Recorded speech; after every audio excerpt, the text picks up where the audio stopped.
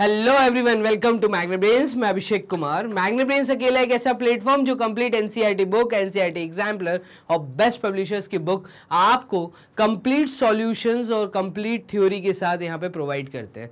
इसी के साथ में अकेला एक ऐसा चैनल जो 100% परसेंट फ्री एजुकेशन के साथ बेस्ट कंटेंट के साथ आपको एन एग्ज़ाम और ओलंपिक एग्ज़ाम की भी तैयारी करा रहे हैं। तो चलिए, शुरुआत करते हैं हम अपनी इस वीडियो की। इस वीडियो में हम लोग कंप्लीट कर रहे हैं डीपीपी टू और डीपीपी टू टॉपिक है हमारा, बड़ा आसान रैंकिंग टेस्ट तो उम्मीद करता हूँ कि आपने थ्योरी को अटेंड किया होगा। उम्मीद करता हूँ आप लोगों से कि आप लोगों ने कंप्लीट डीपीपी वन के क्वेश्चन और डीपीपी टू के क्वेश्चन खुद से सॉल्व किए होंगे। और अगर नहीं किए, आपसे सॉल्यूशन देखने आए हैं यहाँ पर तो मैं आपको एक छोटा सा यहाँ पे सजेशन दूँगा। सजेशन ये कि क्वेश्चन को पहले खुद से अटेम्प्ट करिए। मतलब जैसे ही क्वेश्चन मैं यहाँ दिखाऊँगा तो आपको वीडियो को करना है पॉज, क्वेश्चन को पहले खुद सॉल्व करना है और उसके बाद उसका सॉल्यूशन अगर वॉच करते हैं तो आपको फ़ायदा मिलेगा ज़्यादा। चलिए, शुरुआत करते हैं अपनी इस वीडियो की। तो पहला सवाल जो डीपीपी टू में आपसे पूछा गया था, वो एक सिंपल सा रैंकिंग टेस्ट के अंदर क्वेश्चन था कि एक रो है स्टूडेंट्स की, जिसमें प्रभु जो है वो नाइन्थ है लेफ़्ट से। तो देखिए, रो की जब बात हो रही है और प्रभु का अगर मार्किंग की मैं बात करूँ तो प्रभु की जो मार्किंग है, वो नाइन्थ मार्किंग है। तो तीन तीन छः सात, आठ, नौ। प्रभु की मार्किंग नाइन्थ है, कहाँ से? लेफ़्ट से। तो लेफ़्ट से प्रभु की मार्किंग है ninth. And Padma is twelfth from the right. और पद्मा की जो मार्किंग है, वो राइट से ट्वेल्थ है। तो अगर मैं इसको लास्ट मान लूँ तो एक, दो, तीन, चार, पाँच छ सात, आठ, नौ, दस, ग्यारह, बारह। तो पद्मा की जो मार्किंग है वो लास्ट से ट्वेल्थ है। तो यहाँ पे पद्मा, यहाँ पर ट्वेल्थ रैंक पर है, जब उधर से राइट से काउंट किया जाएगा। इसी रो के अंदर जो राम है वो ट्वेल्थ है फ्रॉम द लेफ़्ट तो अब यहाँ पे एक छोटी सी प्रॉब्लम आ रही है। प्रॉब्लम ये कि हमने इसको लास्ट माना था और यहाँ पे पद्मा को ये रैंक मिली थी। तो ऐसा ना करते हुए अगर हम बोले कि चलिए, ठीक है। इसको एक बनाने का तरीका ऐसा भी हो सकता है कि प्रभु की, अगर मैं यहाँ पे निकलूँ, कि प्रभु की रैंक नाइन्थ है। कहाँ से? इधर से देखने पे, ठीक है? From the left and Padma is twelfth from the right तो पद्मा इस साइड में कहीं पे होंगी ट्वेल्थ रैंक पे। जब इस साइड से देखा जाएगा तो ये जो एरोज हम बना रहे हैं, ये इन नंबर्स के साथ में बना देते हैं। In the same row Ram is twelfth from the left अब राम कहाँ से है? लेफ़्ट से। लेफ़्ट से ट्वेल्थ रैंक पर है।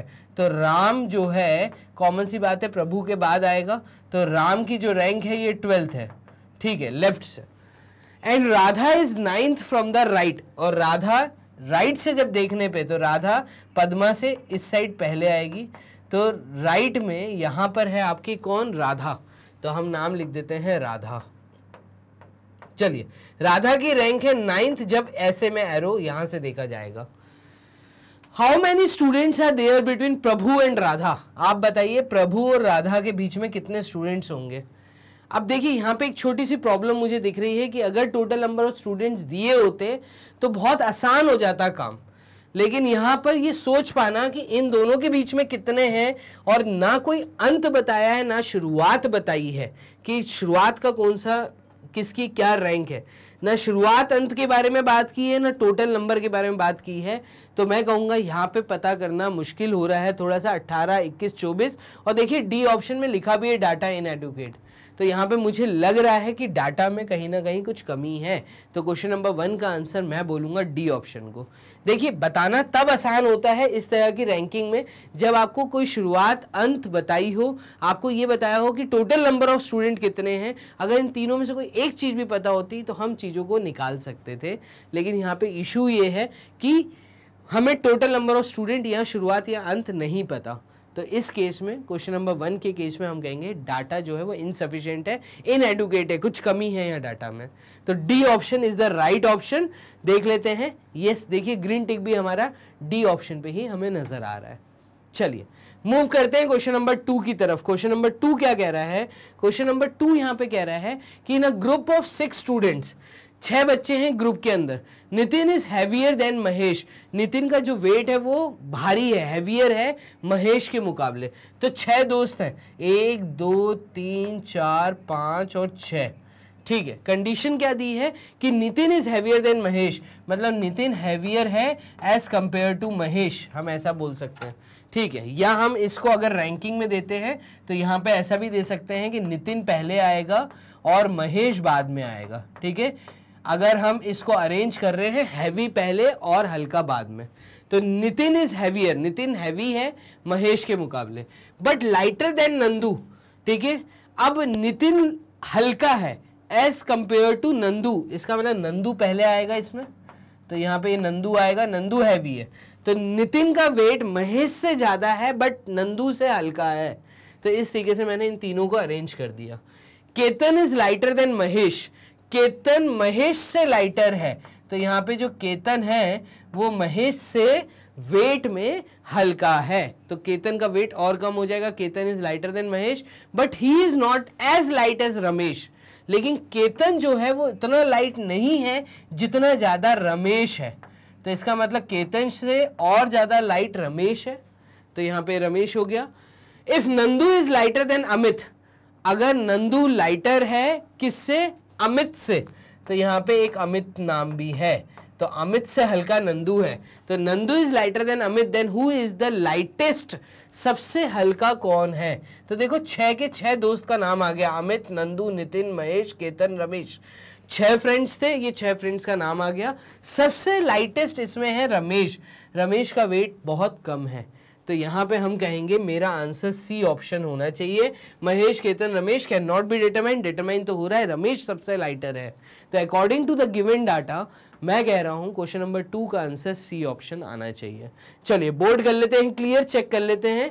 यस देखिए ग्रीन टिक भी हमारा सी ऑप्शन पे ही हमें दिख रहा है। चलिए मूव करते हैं क्वेश्चन नंबर थ्री की तरफ़। क्वेश्चन नंबर थ्री क्या कह रहा है? Ravi ranked fourteen from the top Ravi की जो रैंक है वो फोर्टीन है, ऊपर से देखने पे। तो रवि की रैंक जो है, वो फोर्टीन है, ऊपर से देखने पे मतलब रवि से ऊपर थर्टीन रैंक वाले और भी लोग हैं। ये चीज़ समझ आ रही है? ठीक है। तो थर्टीन रैंक और भी लोग सीरियल वाइज चलते हुए रवि की रैंक ऊपर से देखने पे फोर्टीन आ रही थी। इसके बाद बोला है and twenty ninth from the bottom और नीचे से देखने पे twenty ninth from the bottom है। इसका मतलब रवि के नीचे 28 लोग और हैं। इस चीज़ को समझने की कोशिश करना। रवि की रैंक ऊपर से देखने पे फोर्टीन है, नीचे से देखने पे ट्वेंटी नाइन्थ है। तो इससे यह समझ आ रहा है कि रवि जिस सीरियल नंबर पे है, ऊपर से, इससे पहले थर्टीन सीरीज़ और चलती हुई आई है। मतलब तेरह नाम और आ रहे होंगे और रवि के बाद अट्ठाईस लोग और होंगे, क्योंकि नीचे से जब मैं काउंट कर रहा हूँ तो रवि ट्वेंटी नाइन्थ काउंटिंग दिखा रहा है यहाँ पे। ठीक है। From the bottom among those who pass in examination और ये वो लिस्ट है जो लोग एग्ज़ाम में पास हुए हैं। तो जो लोग पास हुए हैं, वो तो ये हो गए। Five boys did not participate और इस एग्ज़ाम में पाँच लड़कों ने पार्ट नहीं लिया नॉट पार्टिसिपेटेड नहीं तो ये लोग भी यहाँ पर होते। इन्होंने पार्टिसिपेट ही नहीं किया। फॉर्म भरा होगा बट पार्टिसिपेट ही नहीं किया। चलिए ठीक है, आगे देख लेते हैं। And five get failed in it और पाँच ऐसे नाम हैं जो फेल हो गए हैं। तो पाँच स्टूडेंट फेल भी हुए हैं जो पास की लिस्ट में नहीं है। ठीक है? How many boys were there in the class अब टोटल लड़के कितने थे क्लास में? देखिएगा थर्टीन बॉयज़ तो ये फोर्टीन पे रवि था। तो थर्टीन जो इससे पहले वाले थे प्लस वन एक रवि, और रवि के बाद पासिंग लिस्ट में अट्ठाईस बच्चे और हैं। प्लस इसके अंदर पाँच ने तो अभी पार्टिसिपेट ही नहीं किया। ठीक है? और पाँच जो हैं, वो फेल हो गए।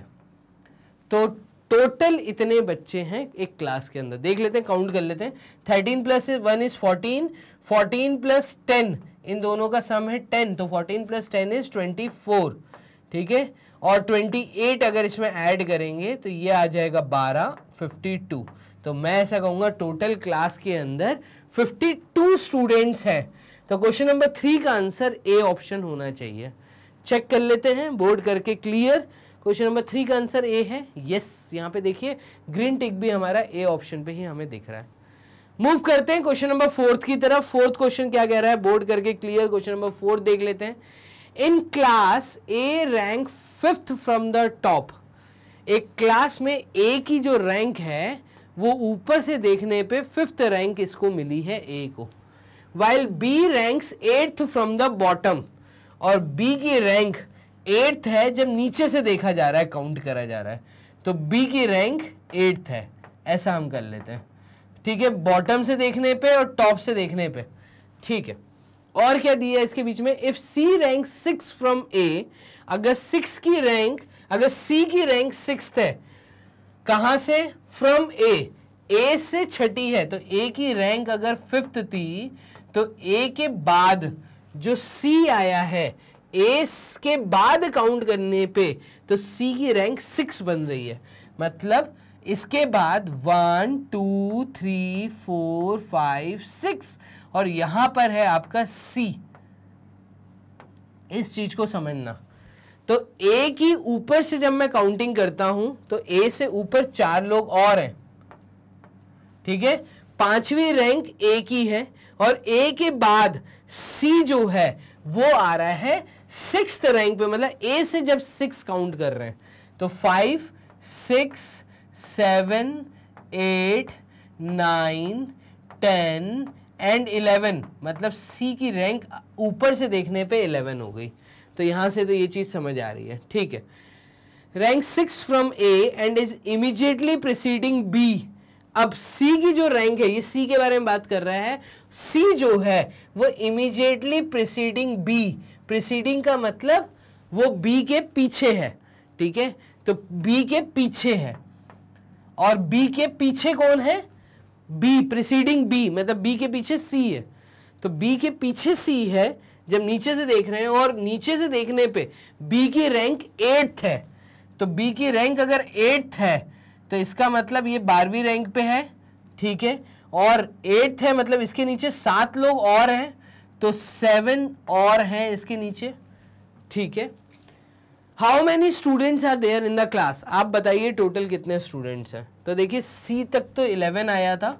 ठीक है, नीचे से इसको प्लस एट रैंक थी। तो मतलब नीचे से आठ बच्चे और प्रेसिडिंग सी तो सी के बाद बी आएगा।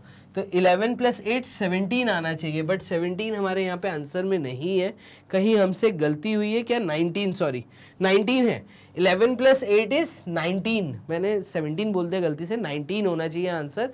मैं कहूँगा D option is the correct answer D देखिए क्या था? ऊपर से ए की रैंक फिफ्थ है। ए के बाद सी की जो रैंक है, वो ए से सिक्स काउंट करने पे आ रही है। तो five plus six plus eight इस तरीके से हम करेंगे। तो five plus six eleven eleven plus eight is nineteen मैं कहूँगा क्वेश्चन नंबर फोर का आंसर है डी ऑप्शन बोर्ड कर लेते हैं क्लियर चेक कर लेते हैं. यस yes, देखिए ग्रीन टिक भी हमारा डी ऑप्शन पे ही हमें नज़र आ रहा है। चलिए मूव करते हैं क्वेश्चन नंबर फाइव की तरफ़। क्वेश्चन नंबर फिफ्थ क्या कह रहा है? तो यहाँ पे क्वेश्चन नंबर फिफ्थ कह रहा है out of six towns Dhulia दुल, Dhulia Dhulia is bigger then अमल नेर ठीक है, दुलिया इज़ बिगर देन अमल नेर तो दुलिया जो है, ये बड़ा है as compare to Amalner तो यहाँ पे अमल लिख देते हैं और यहाँ पे दुलिया लिख देते हैं। चलिए, दुलिया बड़ा है अमल नेर से। फिर है Shri Rampur is bigger than Nashik. Shri Rampur बड़ा है। तो श्री लिख देते हैं, किससे बड़ा है? नासिक से बड़ा है। ठीक है। फिर हमें क्या दिया है? Jalgaon is not as big as Shri Rampur तो जलगांव उतना बड़ा नहीं है जितना बड़ा श्री रामपुर है। तो जलगांव इससे भी नीचे आएगा, ठीक है? But is bigger than Amalner ठीक है? तो जलगांव उतना बड़ा नहीं है जितना बड़ा श्रीरामपुर है। बट हाँ वो अमनेर से बड़ा है। तो अमनेर से बड़ा है, इसका मतलब यहाँ पर दुलिया के बाद जो नाम आना चाहिए, वो जलगांव का आना चाहिए। और जलगांव के बाद यहाँ पे जो नाम आना चाहिए तो दुलिया का कंपैरिजन अमलनेर से किया था तो ये अमलनेर यहाँ पर आएगा। दुलिया बड़ा है अमलनेर से, जलगांव बड़ा है अमलनेर से। देखिएगा, Jalgaon Jalgaon is not as big as Shrirampur but is bigger than Amalner. तो ये कर दिया। Amalner is smaller than Nashik. Amalner किससे छोटा है? तो अमलनेर छोटा है नासिक से। इसका मतलब अमलनेर और बाद में जाएगा। ठीक है? और यहाँ पर आएगा नासिक। नासिक अमलनेर से बड़ा है इसका मतलब। और नासिक से बड़ा है श्रीरामपुर। तो नासिक से पहले एक्चुअल में श्रीरामपुर आएगा। ठीक है? श्रीरामपुर के बाद फिर नासिक आएगा और नासिक के बाद अमलनेर आएगा। इस तरीके से इन्होंने एक सीरीज़ बनाई है। ठीक है, हमने वो चीज़ भी यहाँ पे इंक्लूड कर दी। अब ये क्या बोल रहा है? तो Amalner is smaller than Nashik. Amalner Nashik से भी छोटा है बट बिगर देन मनमाड़। अब अमलनेर बड़ा है मनमाड़ से तो मनमाड़ और छोटा है। ठीक है? विच इज़ द स्मॉलेस्ट तो मैं कहूँगा मनमाड़ इज़ द स्मॉलेस्ट सबसे छोटा मनमाड़ है। ये प्रॉपर तरीके से मैंने अरेंज कर दिया। मैं एक बार फिर से पढ़ के बताता हूँ। देखो, Dhulia is bigger than Amalner तो yes Dhulia is bigger than Amalner Shrirampur is bigger than Nashik. तो yes Shrirampur is bigger than Nashik. ठीक है? Jalgaon is not as big as Shrirampur. Jalgaon उतना बड़ा नहीं है जितना बड़ा श्रीरामपुर है।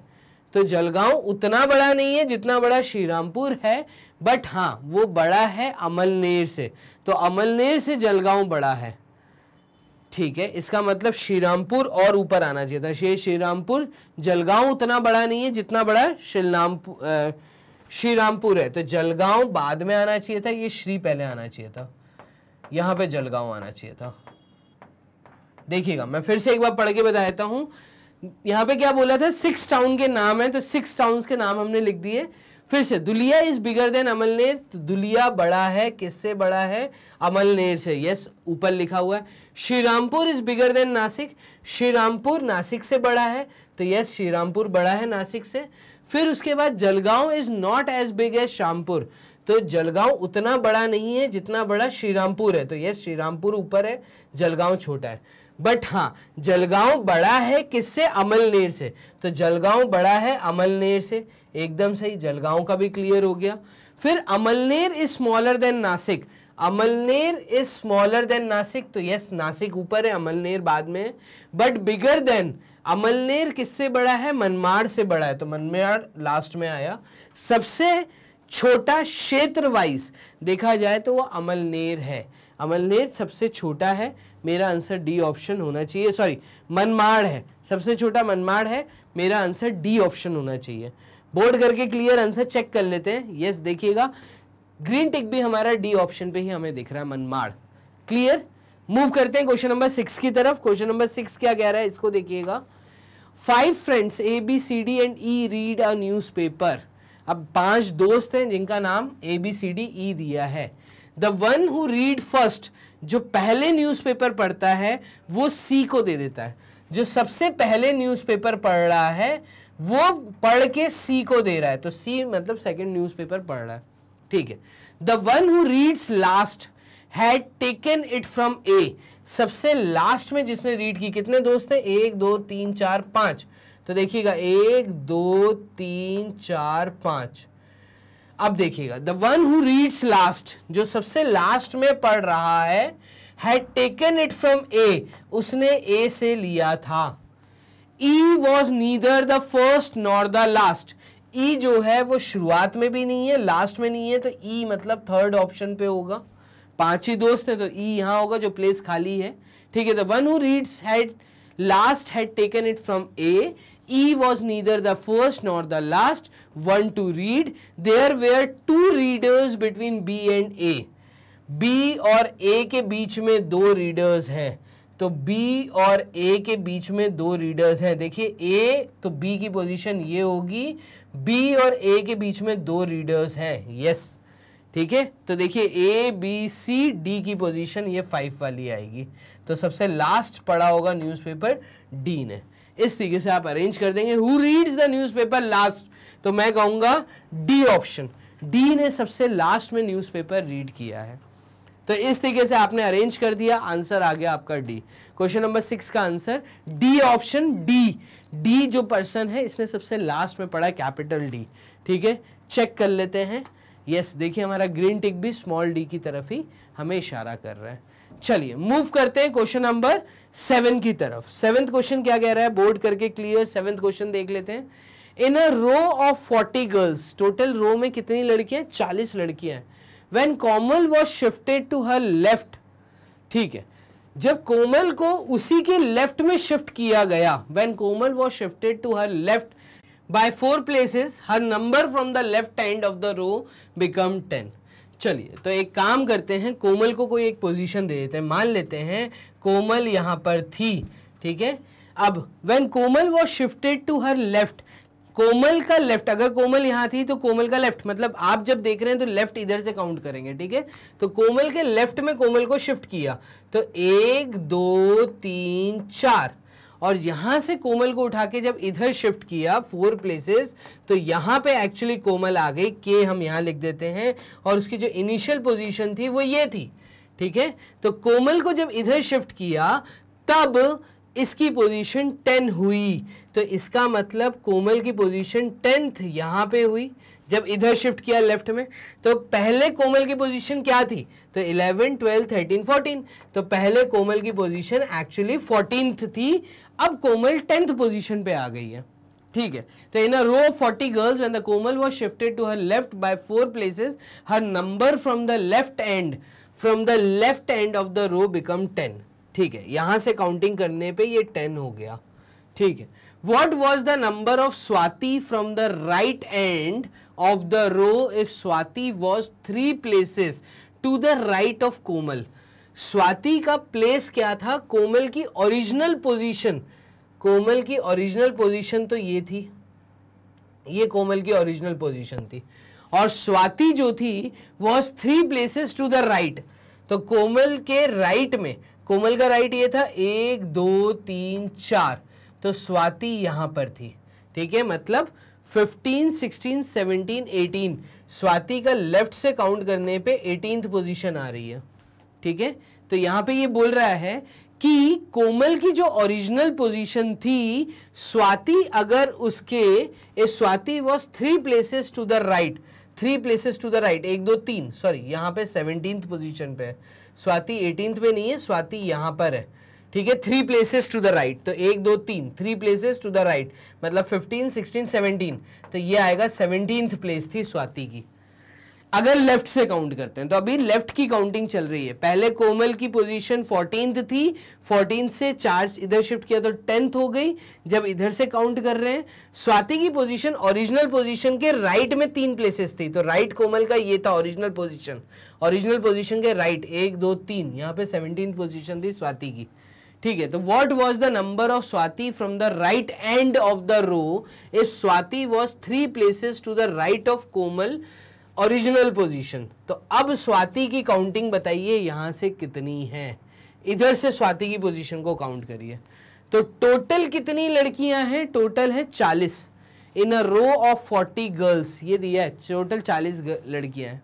तो देखिएगा, मैं क्या कर सकता हूँ कि यहाँ तक तो मैं ऐसा बोल देता हूँ कि 10 अभी कोमल की पोजीशन टेन है, ठीक है? तो 10 तक की लड़कियाँ हटा दो, इधर से काउंट करने पे। तो यहाँ पे अब जो इधर से काउंट करने पाएँगे, इधर से काउंट करने पे दस है तो इधर से जब काउंट करते हुए आएँगे तो ये दस ना होके ये हो जाएगा आपका थर्टीथ राइट से जब काउंट करते हैं तो एक से दस, ठीक है?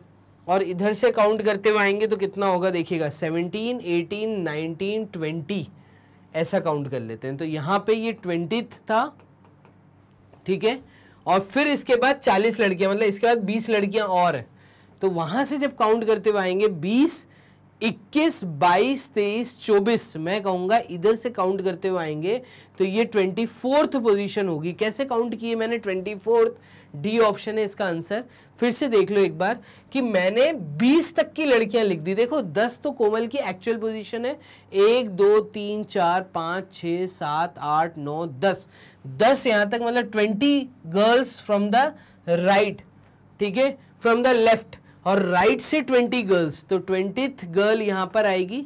जब मैं राइट से काउंट करूँगा टोटल चालीस लड़कियाँ हैं ना बीस से काउंट करता हुआ मैं यहाँ पे आया और इसके आगे अगर राइट से काउंट करूँगा तो ये इक्कीसवीं रैंक हो जाएगी। 21, 22, 23, 24 स्वाति की रैंक इधर से सेवनटीन है उधर से ट्वेंटी फोर्थ है।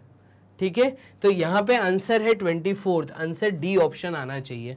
क्वेश्चन नंबर सेवेंथ का आंसर है डी बोर्ड क्लियर करके हम चेक कर लेते हैं। देखिएगा। यस देखिए हमारा ग्रीन टिक भी डी की तरफ़ ही आया है। तो क्वेश्चन नंबर सेवेंथ को कैसे अटेम्प्ट करना था, ये आपने समझा, रैंकिंग टेस्ट इसी तरीके से आता है। मूव करते हैं क्वेश्चन नंबर एट्थ की तरफ़। एट्थ क्वेश्चन क्या कह रहा है? Six friends A B C D E F start climbing a hill together छह दोस्तों ने एक साथ पहाड़ी चढ़ना चालू किया। तो मान लीजिए पहाड़ी है और यहाँ पे छह दोस्त खड़े हैं। चलिए। तो ये छह दोस्त खड़े हैं। एक one two three four five six ठीक है? और इनके नाम दिए A B C D E F इन्होंने एक साथ पहाड़ी चढ़ना चालू किया। After some time it is observe that D has reach the position higher than B D एक हाइट पे पहुँच गया as compare to B B से जब मैंने देखा कि बी अभी नीचे है डी एक हाइट तक पहुँच चुका है। तो D has reach the position higher than B but not as high as E लेकिन डी उतना हाई नहीं पहुँच पाया जितना हाई ई e पहुँच गया था। ठीक है? C is at a position not higher than D C उस पोजीशन पे है जो कि डी से हायर नहीं है। मतलब डी हायर पे सी अभी भी उससे नीचे। And not lower than A ठीक है? तो ए से मतलब ए से जब कंपैरिजन कर रहा हूँ, किसका? सी का। तो ए अभी नीचे है as lower than A and not lower than A मतलब वो ए से नीचे नहीं है ए से ऊपर है सी बट वो सी डी तक नहीं पहुँच पाया है। अब हो सकता है बी से सी का कोई रिलेशन नहीं दिया तो अभी हम सी के लिए रेड पेन का यूज़ कर लेते हैं, एक काम करते हैं। क्योंकि सी की एक्चुअल पोजीशन नहीं पता, ये पता है कि सी जो है सी जो है, वो डी और ए के बीच में है। ठीक है। Who is not lower lower than F अब देखिए आगे कनेक्शन बनाया है। Is not lower than F and not higher than B ये क्या बोलना चाह रहा है? C is at a position not higher than D. C उस पोजिशन पे है जो D से ऊपर तो नहीं है, ठीक है? And not lower than A. और A से कम भी नहीं है, ठीक है? Who is not lower than F? तो who is not lower than F? यहाँ पे जो वर्ड हु यूज़ किया है ये किसके लिए यूज़ किया है, ये समझना ज़रूरी है। तो C is at a position not higher than D and not lower than A who is not lower than F and not higher than B ठीक है। तो यहाँ पे ये जो एक है ए से रिलेटेड इन्होंने कहानी बनाई है। Who has climbed the highest position आप बताइए हाइएस्ट पोजीशन पे कौन है? ठीक है हाइएस्ट पोजीशन पे तो अभी ई e दिख रहा है। बाकी हम बाद में बात करते हैं। Who is not lower than F तो दोस्त जो थे A B C D E F ठीक है who is not lower than F जो एफ़ से कम नहीं है नॉट हायर देन बी और बी से हायर नहीं है। तो बी से हायर नहीं है मतलब सी की ही बात हो रही है। सी उस पोजीशन पे है जो कि डी से नीचे है ए से ऊपर है, और एफ़ से नीचे तो नहीं है। एफ़ से नीचे तो नहीं है मतलब एफ़ और भी नीचे है अभी कहीं पे, ठीक है? And not higher than B और बी से भी हायर नहीं है तो मैं कहूँगा यही सी की पोजीशन है। ठीक है? तो who has climb to the highest position तो अभी तक की हाइएस्ट पोजीशन दिख रही है ई e की। मैं कहूँगा इसका आंसर बी होना चाहिए। चेक कर लेते हैं, क्या इसका आंसर बी है? देखिएगा यस इसका आंसर बी है। तो देखिए, मैंने यहाँ पे बकायदा एक ड्राइंग बनाई थी पहाड़ी की, उसमें आपको बताया और स्टेटमेंट समझने की ज़रूरत है। सी से रिलेटेड बात हो रही है। और हु वर्ड जो है वो सी के लिए यूज़ किया गया है। C is not lower than F वो एफ़ से भी नीचे नहीं है, ऊपर ही है एंड वो बी से ऊपर नहीं है बी से नीचे है। तो वो पोजीशन सही थी जो मैंने यहाँ पे बनाई हुई थी। एक बार फिर दिखाया तो आपको वो वाली पोजीशन कि जो हमने बनाई थी, वो ये पोजीशन थी। सी की पोजीशन एकदम सही है, सबसे नीचे एफ़ है। तो ये एकदम सही आया है आंसर बी है इसका। चलिए क्वेश्चन नंबर नाइन्थ की तरफ़ मूव करते हैं। तो दो क्वेश्चन इस शीट में अब हैं। नाइन्थ क्वेश्चन को देखिएगा। नाइन्थ क्वेश्चन में क्या दिया है? Five students participated in an examination and each score different mark पाँच दोस्त हैं, उन्होंने पार्टिसिपेट किया एग्जामिनेशन के अंदर और हर का एग्ज़ाम जो है ई स्कोर डिफरेंट मार्क सबके मार्क्स डिफरेंट आए Nidhi scored higher than Mamta. Nidhi का स्कोर ज़्यादा है ममता के मुकाबले। Kavita scored lower than Prashant. Kavita का कम है प्रशांत के मामले। ठीक है बट हायर देन निधि। तो कमला का ज़्यादा है निधि से। तो कमला का ज़्यादा है निधि से। तो यहाँ पे एक काम करते हैं, फिर से एक बार चार्ट बना लेते हैं। निधि स्कोर्ड हायर्ड निधि का स्कोर हायर है। ठीक है देन ममता। तो ममता नीचे है, निधि ऊपर है। कविता स्कोर्ड लोअर कविता का स्कोर कम है, प्रशांत से. तो कविता का स्कोर कम है, प्रशांत से. ठीक है? But higher than Nidhi. But इसका हायर है निधि से. तो प्रशांत ऊपर है, कमला नीचे है, फिर निधि है. ठीक है? Anil score was between Mamta and Nidhi. Mamta और निधि के बीच में अनिल का स्कोर आया है. ये इन्होंने बोला है. ठीक है? Which of the following pair represents the highest and the lowest scores respectively ठीक है। यहाँ पे क्या बोल रहा है? फाइव स्टूडेंट्स है। एक, दो, तीन, चार, पाँच। तो five students participate in an examination and each score different marks सबके मार्क्स अलग हैं। Nidhi score higher than Mamta. Nidhi का स्कोर ममता से हायर है।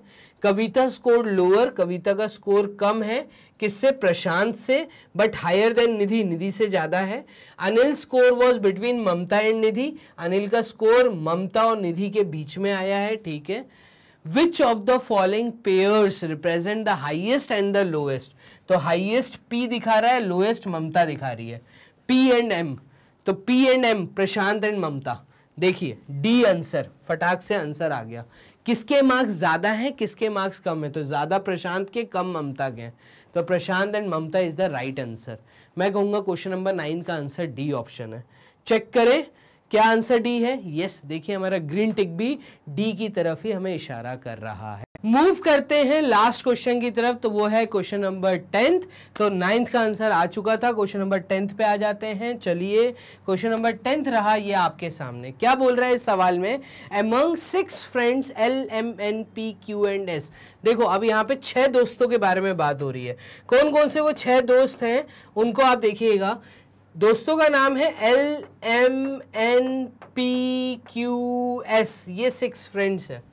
Each having a different height सबकी हाइट डिफरेंट है। N is taller than Q N जो है, वो बड़ा है क्यू से। ठीक है? एंड पी तो N is taller than Q and P N taller है क्यू और पी दोनों से।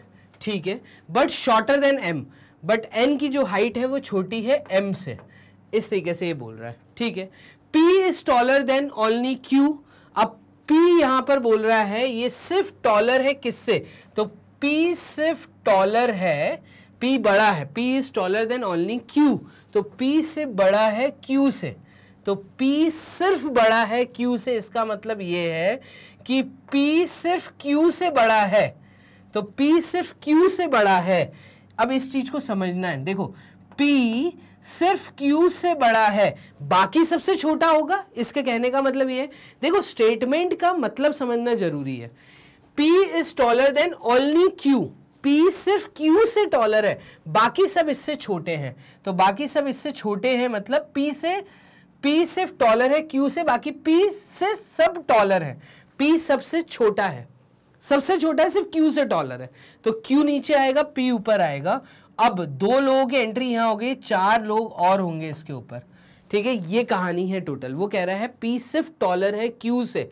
इसका मतलब पी बाकी सबसे छोटा है। ठीक है। वाइल जबकि S is shorter than only L S जो है, वो सिर्फ़ छोटा है। किससे छोटा है? एल से। तो एस सिर्फ़ छोटा है एल से। तो S सिर्फ़ छोटा है L से। इन दो पोजीशन पे क्या मैं ऐसा बोल सकता हूँ कि L से सिर्फ़ S छोटा है, बाकी S सबसे बड़ा है। तो यहाँ पे मेरे हिसाब से ये अरेंजमेंट एकदम सही अरेंजमेंट है कि एल एस बाकी दो दोस्त और बीच में आएँगे और लास्ट में पी एंड क्यू है। क्वेश्चन के आगे क्या बोला है? Which of the following pair represent the tallest and the shortest among the six friend आप बताइए कि इन सब छह दोस्तों में, छह दोस्तों का नाम क्या था? तो वो आपको पता है, ये ये थे नाम। एल और एस की एंट्री आप कर चुके हो तो एल और एस की एंट्री आप कर चुके हो पी और क्यू की एंट्री कर चुके हो एम और एन की कहानी इनके बीच में बैठेगी। ठीक है? तो एम बड़ा था एन से तो एम बड़ा था एन से, ठीक है? और फिर एम P से भी बड़ा था और क्यू से भी बड़ा था। तो देखो एम पी से भी बड़ा था क्यू से भी बड़ा था। तो ये दोनों पोजीशन मैंने L S M N P Q इस तरीके से हमने कर दिया अरेंजमेंट अब ये कह रहा है, वो पेयर बताइए जो सबसे बड़ा और छोटी हाइट को यहाँ पे छह फ्रेंड्स के बीच में रिप्रेजेंट कर रहा है। तो वो पेयर है एल एंड क्यू का। एल सबसे बड़ा क्यू सबसे छोटा। तो एल और क्यू मेरे हिसाब से इसका आंसर बी ऑप्शन होना चाहिए एल एंड क्यू तो देखो, यहाँ पे शब्दों का जो अनुवाद है, उसको हिंदी में अगर हम सही चेंज कर लेते हैं तो काम हो जाता है बहुत आसान। और वही चीज़ आपको यहाँ दिख रही है। सिर्फ़ यहाँ पे वर्ड्स के साथ खेला गया था, ठीक है? तो यहाँ पे एल एंड क्यू आंसर पहले चेक कर लेते हैं। तो यस देखिए बी ऑप्शन पे ही हमारा ग्रीन टिक भी आ रहा है। तो इस तरीके से हमें इस क्वेश्चन को करना था सॉल्व फाइनली दस क्वेश्चन थे जो हम सॉल्व कर चुके हैं इस डीपीपी से। और डीपीपी रैंकिंग टेस्ट आपको कहाँ मिलेगा? विदाउट एनी एडवर्टाइजमेंट आप कैसे इस डीपीपी टू और वन को वॉच कर सकते हैं? थ्योरी कैसे देख सकते हैं? इसके लिए आपको गूगल राजा के पास टाइप करना है। क्या टाइप करना है गूगल राजा के पास? आपको सिंपल मैग्नेट ब्रेन्स टाइप करना है। मैग्नेट ब्रेन्स टाइप करते ही आपके सामने इंटरफेस ओपन होगा। इस इंटरफेस पे आप थोड़ा सा ऊपर की तरफ़ स्क्रॉल अप करेंगे तो एक्सप्लोर टॉप कोर्सेज और एक्सप्लोर टॉप कोर्सेज के हेड के नीचे आपको एनटीएससी एक ऑप्शन मिलेगा। जैसे आप एनटीएससी क्लिक करते हैं तो स्टेज वन एनटीएससी की तैयारी मतलब नेशनल टैलेंट सर्च एग्जामिनेशन की तैयारी कराने वाले स्टेज वन के सारे फैकल्टीज आपके सामने। विभूति मैम यहाँ पे तैयारी करा रही हैं साइंस की। राहुल से तैयारी करवा रहे हैं यहाँ पर आपको मैथ्स की और रिया मैम आपको तैयारी करवा रही है यहाँ पे सोशल साइंस की। मेरे द्वारा आपको मेंटल एबिलिटी टेस्ट करवाई जा रहा है। तो मैट की तैयारी आपको मैं करवा रहा हूँ। तो यहाँ पे आपको मेरे द्वारा वीडियोस देखनी है, मेरे नाम के नीचे आप वॉच नाउ क्लिक करिए या जिस भी टीचर्स की वीडियो आपको वॉच करनी है एनटीएससी की, आप वॉच नाउ पे क्लिक करिए। वॉच नाउ पे क्लिक करते ही उन टीचर्स द्वारा कराया हुआ पूरा कोर्स आपके सामने। क्लियर है? इतना आसान है वेबसाइट से विदाउट एनी एडवर्टाइजमेंट वीडियोस को वॉच करना। जिस भी टॉपिक को वॉच करना है, उस टॉपिक को क्लिक करते ही आपके सामने लिंक्स आ जाएँगी ब्लू कलर में। थ्योरी उस पर्टिकुलर टॉपिक की DPP one DPP two DPP three सब कुछ यहाँ पे इजिली अवेलेबल है। यहीं पे जैसे ही आप उन लिंक्स को क्लिक करते हैं तो आपके सामने वीडियो रन होना स्टार्ट इतना आसान है घर बैठ के तैयारी करना। पूरे इन्फॉर्मेशन को आप शेयर करिए अपने दोस्तों के साथ, अगर आप टेंथ में हैं, और अगर आपके टच में, आपके रिलेशंस में, आपके पहचान में कोई ऐसा है जो अभी एट्थ नाइन्थ क्लास में है या सेवन्थ एट्थ नाइन्थ में है, जिनका सपना एन क्रैक करने का है डेफिनेटली उनके साथ लिंक को शेयर करना ना भूलिए। क्लियर है? उनको मैग्नेट की पूरी इन्फॉर्मेशन दीजिए। हंड्रेड परसेंट फ्री एजुकेशन किसी तरह का कोई चार्जेस आपको सब्सक्रिप्शन चार्ज भी कहीं पे आपको पे नहीं करना। और प्रॉपर कंटेंट वो भी बेस्ट फैकल्टीज़ के द्वारा ही यहाँ पर आपको मिल रहा है। वीडियो को लाइक करना ना भूलिए, क्योंकि आपके लाइक से टीचर होते हैं मोटिवेट इसी के साथ में आप सब्सक्राइब कर लीजिए, अगर चैनल को अभी तक बेल आइकन नहीं दबाया है तो बेल आइकन दबाना ना भूलिए सो दैट डेली जो वीडियोस आ रही हैं, वो पहले आप तक पहुँच जाए। बेल आइकन दबाना ज़रूरी है। चलिए, अपना ध्यान रखिए बाय एंड टेक केयर मिलते हैं डीपीपी टू नेक्स्ट टॉपिक जो भी अच्छा सा टॉपिक है, उसकी डीपीपी में हम आपको वहाँ पर मिलेंगे। ध्यान रखिए अपना बाय एंड टेक केयर